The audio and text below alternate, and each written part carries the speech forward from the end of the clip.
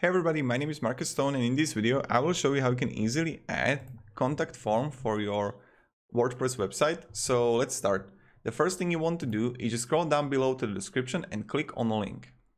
When you will have it, you will get on this site called Elfsight. Elfsight is an amazing company with a lot of widgets and one of the widgets they make is a contact form. So let's click sign up for free.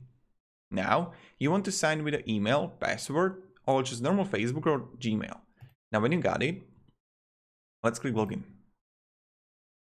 Right here in applications, in explore other applications, you want to write contact. And you're gonna see here contact form. Let's create a widget. Now you can choose like simple form, email form, floating form even. I will like the simple form.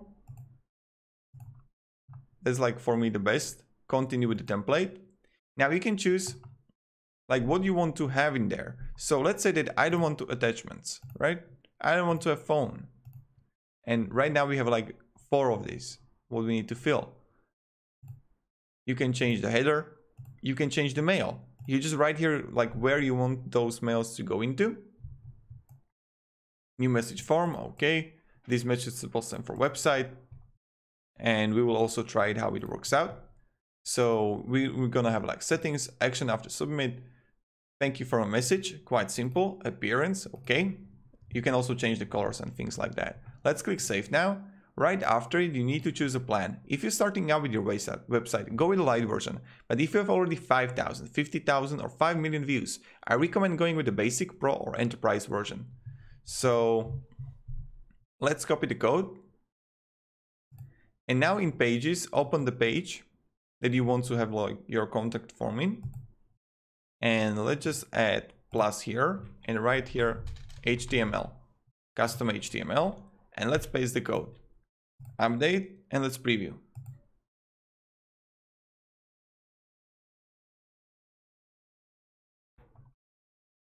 And voila, here you got it perfect.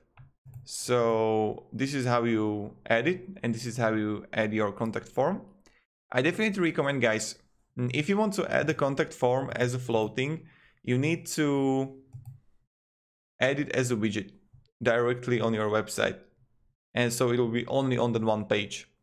But I recommend having, I really recommend having it like this. Also, if you have any questions, ask me down below in the comments. And what one thing I recommend is definitely check out other, other applications here. If you like, like more of them, like Twitter feed and others, so you can get like better price. So thank you everybody.